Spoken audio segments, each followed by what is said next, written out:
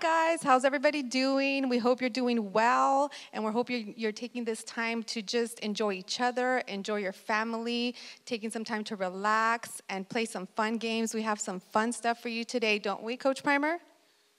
Yeah, we do. Um, but as we're at home right now, you know, again, we want to just uh, express our sincere miss for you guys. We actually miss every single one of you guys not being here in, uh, in church on Sundays. Uh, but you know what? This is a great way we can all get together still and have that, uh, that communication. Um, so first things first, I hope all you guys are staying busy, you know, um, playing catch, uh, running around outside, coloring some books, reading the Bible, right? Because um, these, these are some of the things that we need to do to stay focused, um, not to allow this time to be stagnant, which means, you know, we don't want to be boring or just kind of just sit around playing video games. Um, let's use this opportunity to develop a relationship, a solid relationship with God, get to know Him at a lot deeper level than what we are. Like we talked about last week. Just because we're young, just because, well, I guess they would be young, right? just because you guys are young doesn't mean that you guys cannot be used by God. So go ahead and allow yourselves to be built up because that's the whole purpose of the foundation that you guys are setting for yourselves with God leading the way is setting a solid foundation. Um, so we want to open up in prayer because remember, at the first, middle, and end of everything we do, we give God the glory. So we want to go ahead and pray right now. So, Lord, Father God, we give you all the praise and all the glory, Jesus. We ask that you continue to anoint this time together. Allow everyone's home to be blessed by your hand and your hand alone, Father God because you're going to be the one that's going to allow these kids to grow strong, to grow healthy, to stay healthy, so they can proclaim your word, Father God. We give you all the praise and all the glory. Have your way here today. In your name we pray. Amen. All right, guys. So, are you guys ready to have some fun? So, this time around, we wanted to bring some fun to you guys. I know that you guys are doing a lot of laying around, sitting on the couch, going from the couch to the kitchen, from the kitchen to the couch. But we wanted to bring some, maybe a little cardio and have you guys do some fun. Do you guys think Coach Primer will do it? First, what's cardio? well, we're going to start with worship, and we have some special guests today that some of you know very personally, and they're going to do a fun worship song with you guys. But I need you guys all to get up. Come on, come on, get up. You, you, you, I see you. Get up, jump, stretch out a little touch your toes, put your hands up in the air, get ready to do some fun worship, and get ready to just have some fun in the Lord. Are you ready? I'm ready. I don't dance. Maybe next time. Let's go.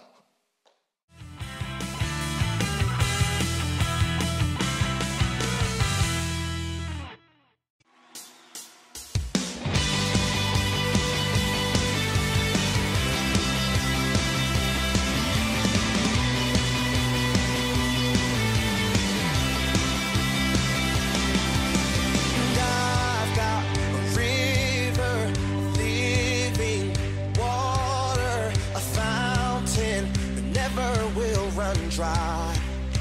Sing it out. It's an open heaven.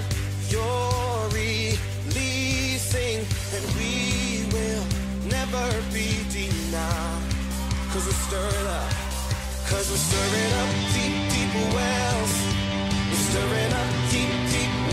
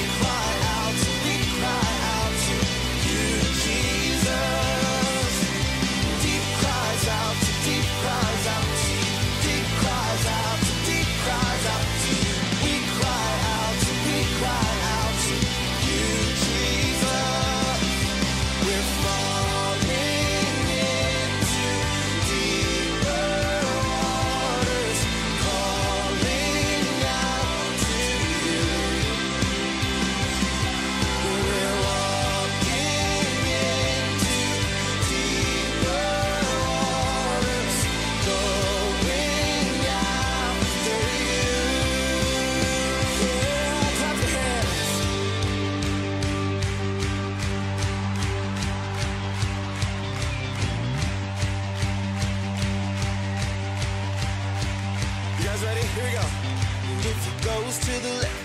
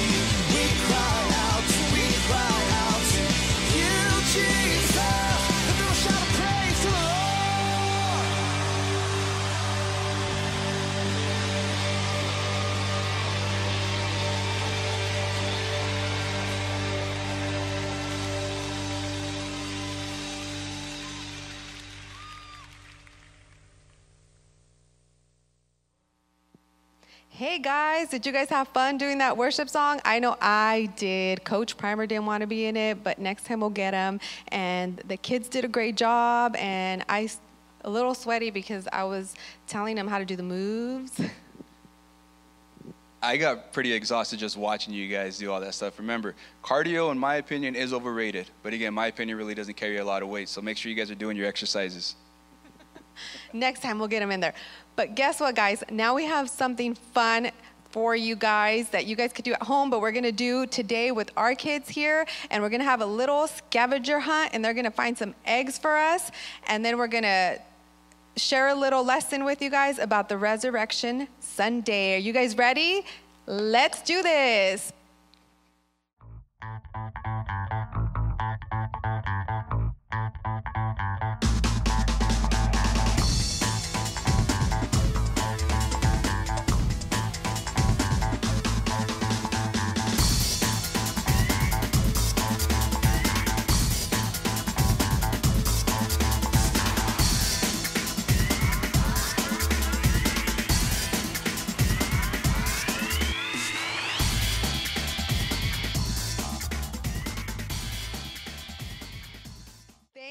Picking up all those eggs for us. Are you guys tired? Yes. Sweaty? well, we appreciate it. And um, we have the 12 eggs that you guys picked up. The resurrection story is very important because it tells us the story of Jesus Christ. And I've been to the store and I've seen a lot of Easter bunnies. I've seen a lot of chocolate covered eggs, a lot of chocolate bunnies, and baskets, and just a ton of Easter stuff. But, Coach Primer, is that what Easter is about? Well, it, it's actually not. I mean, don't get me wrong. The Easter bunny is fun. You got a bunch of eggs and all this chocolate and stuff. But Josiah actually had a pretty cool question for me the other day. He asked me what Easter was about, or what is Easter? How does that Easter and the Easter bunny, how does that tie in with the resurrection of Jesus? So actually, I don't know if I've told him this story yet, but what the story is, many, many years ago, a lot of people started seeing um, during the springtime, right about this time, a bunch of newborn rabbits that were jumping around. You know, they were hopping around everywhere. Not jumping, I guess jumping and hopping. So we're all over the place. And people started seeing that. They started seeing new blooms. They were seeing flowers that were blossoming. And they saw that as new life. You know, the springtime, right? Springtime, it's new life. Everything comes together. What a lot of people think is they tie that new life with Jesus Christ. Why? Because of the resurrection, right? So new life, new beginnings, new everything. But the difference with us as believers, what we know and what we stand on as truth is Jesus Christ is the one true God who did come and rise up. With us believing in him, he actually gives us eternal life. With that eternal life is something that we can hold with all of our hearts because that is truth and that is a purpose of Jesus. That's a purpose of the resurrection as he gave a sacrifice for us, not the Easter bunny. All right? But don't get me wrong, have fun with the Easter eggs. That's a good time. It's fun to go and run and hide, find some eggs. But again, the whole objective of everything is Jesus Christ. He resurrected. Yeah, sometimes we call those, or we call those traditions, right? That's kind of what the Easter baskets and all that fun stuff is. But the the resurrection story is very meaningful to us as Christians. So we are going to go through each egg and find out which what is in them and what Bible verse corresponds to that. Do you guys know all your Bible verses? Mm, not all of them. That's okay. We we can learn as we get older and study our word and we'll learn more verses. Okay, Juliana, can you open that? What is in there? A leaf. It is a leaf, and a leaf represents a palm branch. Matthew 21 9 says, Then the multitudes who went before and those who followed cried out, saying, Hosanna to the Son of David. Blessed is he who comes in the name of the Lord. Hosanna in the highest. Do you guys remember a song saying, Hosanna, Hosanna in the highest? I do. okay, open up number two, Coach Primer. So, number two, I hope we know what this is. Number two is what is this? A dime. Why a dime? How does a how does money tie into the resurrection of Jesus? Anybody got an answer to that? Anybody got an answer? Huh? Anybody? Anybody? Anybody want to share up here? Silver coins. Matthew 26, 14 through 15 says, Then one of the twelve called Judas. Who remembers Judas from the Bible? Yes. What do you remember about Judas, Jonah? He betrayed God. Yes. And he betrayed God for what? For money. That's correct, exactly. What are you willing to give me if I deliver him to you? And they counted out to him 30 pieces of silver. So that's what our coins represent, Mia, okay? Number three, Last Supper. Who can tell me a little bit about the Last Supper? What is the Last Supper? Jonah, number two. I think I know, but does I know? Oh! Saya? No? Nothing?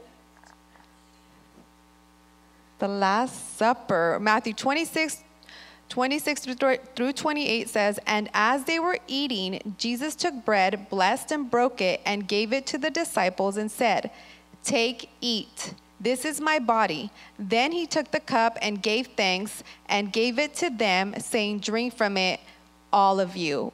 Don't we do this at church? What do we call this, Ethan? Um, Communion. Communion, that is correct. Good job, Ethan. Okay, number four. So number so number four is this. What is this? It's paper. so number four are praying hands. Praying hands. So if you guys reference Matthew 26 through 39, Praying hands. Since I was holding the mic, I'll read it. Matthew 26 to 39 says, He went a little farther and fell on his face and prayed, saying, O my Father, if it is possible, let this cup pass from me. Nevertheless, not as I will, but as you will, as you will. So again, if we actually start paying attention to all the stories, we've actually heard a lot of these growing up in church. Um, but again, a lot of these stories come from teachings throughout. This is a story from the, from Jesus walking in and coming through and sacrificing his life for us. Again, like uh, Coach Mom said, this is different types of scenarios, different situations that happen, and all of these things had to take place in order for the resurrection to happen. Jesus had to get crucified. He had to have He had to walk and get fanned with a palm leaf. He had to get betrayed by Judas. He had to have a last supper with his disciples, and he had to ask God. And he did ask God. Say, "Hey, you know what, God? This isn't for me, man. Help me out." And God said, "But Jesus said, Hey, you know what, God? If this is your way, let your will be done." Can you open number? Can you open number five, Ethan? Ask him what the ropes. That is a whip. What does that signify in the resurrection story of Jesus Christ? Uh, that's what they hit him with when he, he was getting crucified. Exactly. I don't know how many of you have watched The Passion of the Christ because I know you guys are young, but I know our kids have watched Passion of the Christ, and it's really sad to see when they're whipping Jesus, and this is an example. And Mark 15 15 says, So Pilate, wanted, wanting to gratify the crowd, released Barabbas to them, and he delivered Jesus after he had scourged him to be crucified. So that's what the whip means. Number six. What's in there?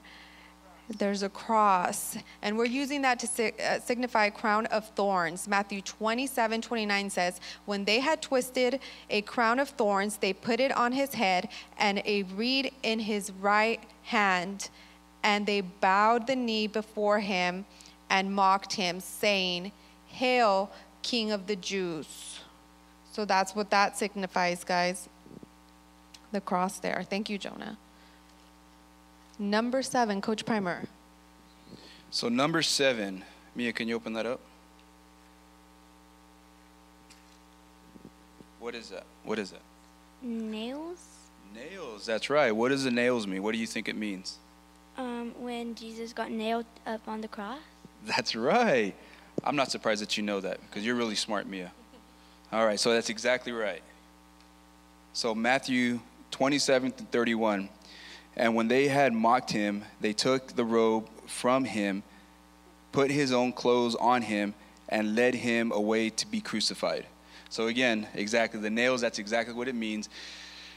They put they put nails through his hands, through his feet. Again, Jesus was innocent upon he was without blemish, he was without sin, and they treated him as if he was a, a criminal. He did it for you and me. It's pretty awesome. Yes, that's a great reminder. Number eight. Ooh, Jonah, can you open that and maybe roll it on the table? That's a dice. And that signifies, is uh, from Matthew 27 35. Then they crucified him and divided his garments, casting lots, that it might be fulfilled, which was spoken by the prophet. Number nine, JJ, you want to help us out and open number nine, please? What's in there? A toothpick. Why do you think there's a toothpick? Did you just eat? You need a toothpick? What's going on?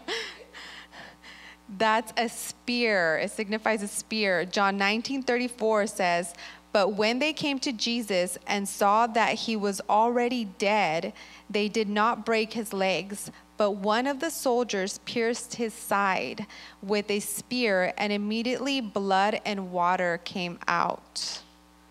Ouch. That sounds painful. Yes, put that there. Number 10, Ethan, can you open number 10 up? What is in there? What is that? Oh, show them. Cloth. It's a cloth. And that signifies linen. Matthew 27 59 says, When Joseph had taken the body, he wrapped it in a clean linen cloth and laid it in his new tomb, which he had sewn out of the rock, or what's that word? Hone? Out of the rock. And he rolled a large stone against the door of the tomb and departed. So again, that's linen. Number 11. What's in there, Jonah? Rocks. Rocks Rocks signify the stone. Matthew 27 66 says, What does it say, Coach Primer? Pilate said to them, You have a guard, go, go your way, make it as secure as you know how. So they went and made the tomb secure, sealing the stone and setting on the guard. Yes, and I think I pronounced his name wrong earlier. Number 12, that's the last one of the 12 resurrection eggs. What do you guys think it might be? It's the last one. Mm, close, maybe. What's in there? Juliana? It, it's the. Does my brother know? The older brother knows. I do know Saya. I do know Saya. It's Jesus' empty uh, tomb.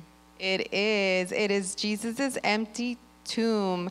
Matthew 28 25 says, But the angel answered and said to the woman, Do not be afraid, for I know that you seek Jesus who was crucified. He is not here, for he is risen. As he said, Come, see the place where the Lord lay. Amen. Isn't that awesome? That through these 12 resurrection eggs, each item can signify something that happened during the story of Jesus Christ and his resurrection. It just, we all have all these items, we all have at home, and we can all put them in eggs. And you guys can tell this story to your friends just by using this, this, these eggs and using these items, you guys can go through the Bible verses on each of these sheets and tell the story again to one of your friends, right? Absolutely. So, one of the things that you all got to know that we all have to know, and we believe in 100%, is Jesus came for us. In situations in our lives, Jesus is going to come through and he's preparing us. Right now, in these situations that we're coming across, it's not on accident there's not an accident that you know the coronavirus is here. It's not on accident that we're not going to school right now. You know, it's not on accident that situations in the earth are happening. Jesus came and he's preparing us for something great. You guys, we all, you guys at home, are definitely part of God's soldiers. You're his warriors. You guys are going to go out into the world and you're going to set foundations. You guys are going to be the light that shines brightest in every situation, in every area that you guys walk. Your steps are anointed. Your step are going to be anointed by God. His aroma is going to be with you everywhere you guys go. And I speak that with profound promise that God is with every single one of you guys. So hold on to that truth. And God can do this, and we can put all of our faith and trust in Him because He did all of this stuff.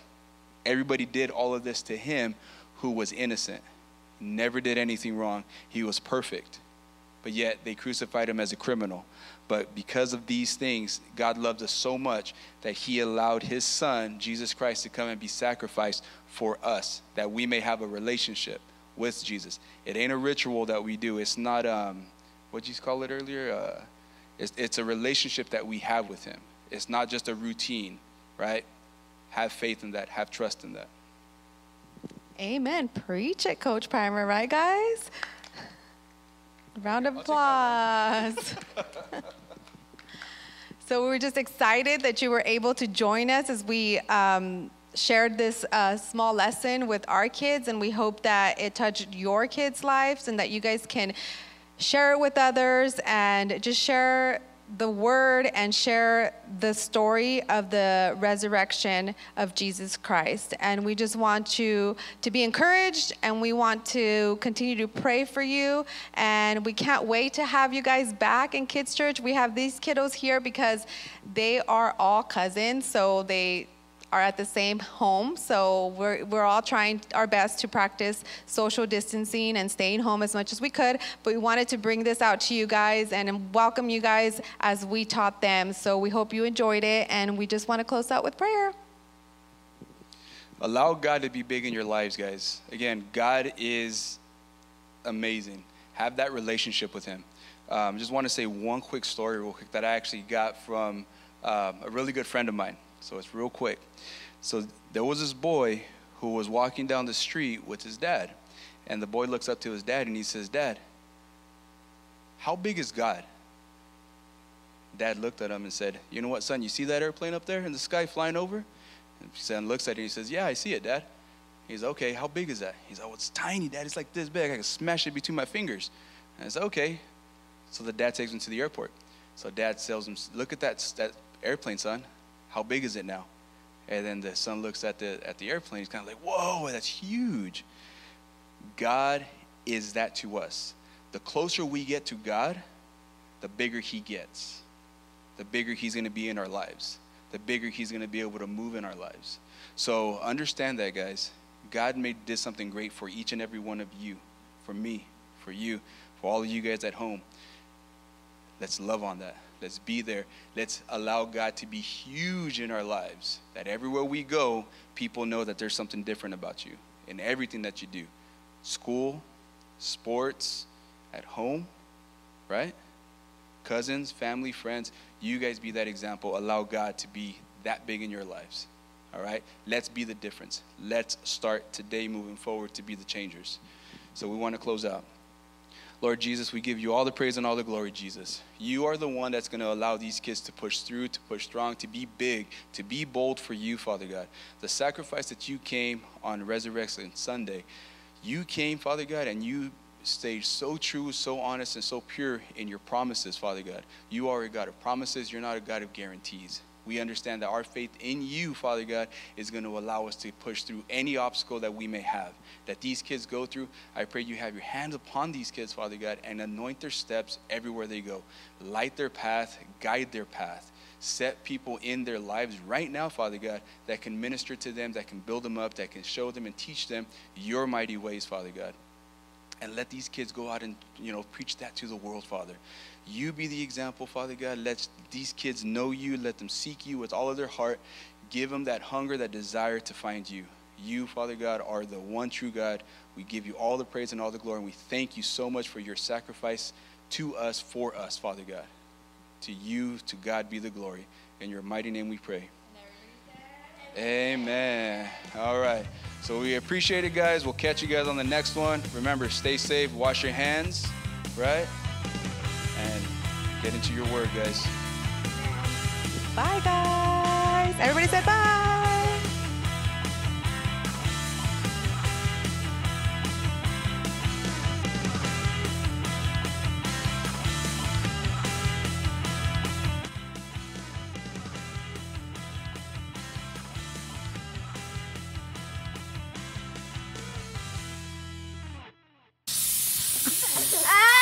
Time. Time. Time, time, time. Time, guys. Save it for other.